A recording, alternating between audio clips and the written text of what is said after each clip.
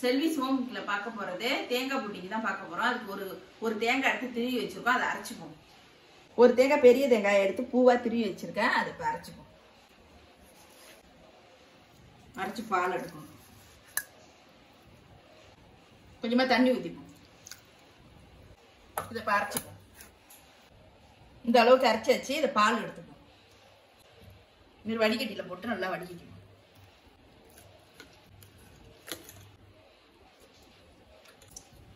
இது நல்லா புழிஞ்சு பால் எடுத்துக்கணும்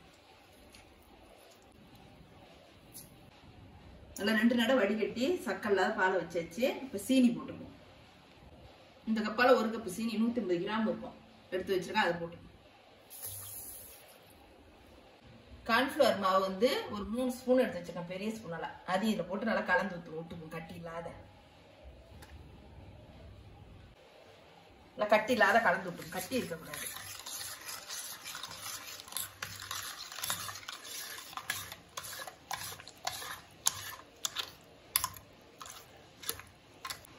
தேங்காய் பல்ல சீனி கார்ன்ஃப்ளவர் மாவுலாம் போட்டு இந்த அளவு கலந்தாச்சு இப்போ இந்த பாத்திரத்தில் ஊற்றி காய்ச்சிப்போம்.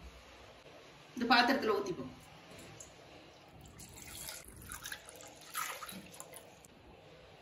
அடுப்பத்தை வச்சுப்போம். அடுப்பத்தை வச்சு கை விடாத கிண்டிடணும்.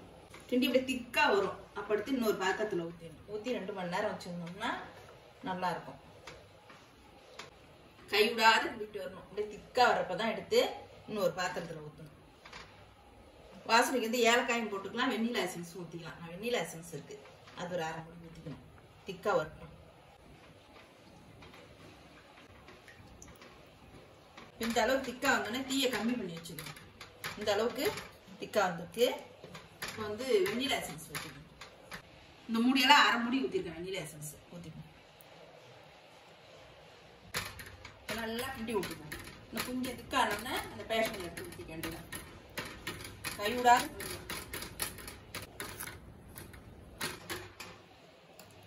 இந்த அளவுக்கு திக்காயிடுச்சு. இப்போ அந்த பேஷனில் எடுத்து ஊற்றிப்போம் நல்லா திக்காயிடுச்சு. இப்போ அந்த பேஷனில் எடுத்து ஊற்றிப்போம் இப்படி இந்த பேஷனில் ஊற்றி வச்சு ஆறட்டும். ஒரு ரெண்டு மணி நேரம் ஆறணும்.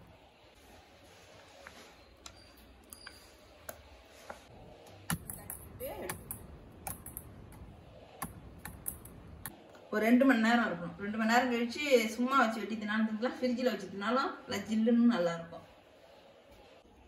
ரெண்டு மணி நேரம் ஆயிடுச்சு. இப்போ தட்டில் கொட்டிக்கணும் நல்லா கெட்டியாம ஆயிடுச்சு. இனிமேல் தட்டை கவுத்து இப்படி கவுத்துக்கணும்.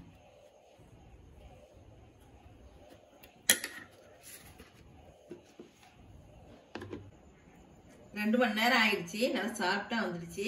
இப்போ வெட்டி காட்டுறேன்.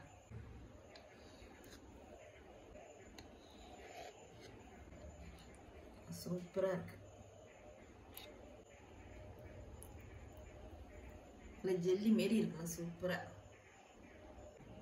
சூப்பரான தேங்காய் புட்டிங்க ரெடி ஆயிடுச்சு. இந்த வீடியோ பிடிச்சிருந்தா லைக் பண்ணுங்க ஷேர் பண்ணுங்க சப்ஸ்கிரைப் பண்ணுங்க கமெண்ட் பண்ணுங்க. நன்றி வணக்கம். நீங்களும் செஞ்சு பாருங்க.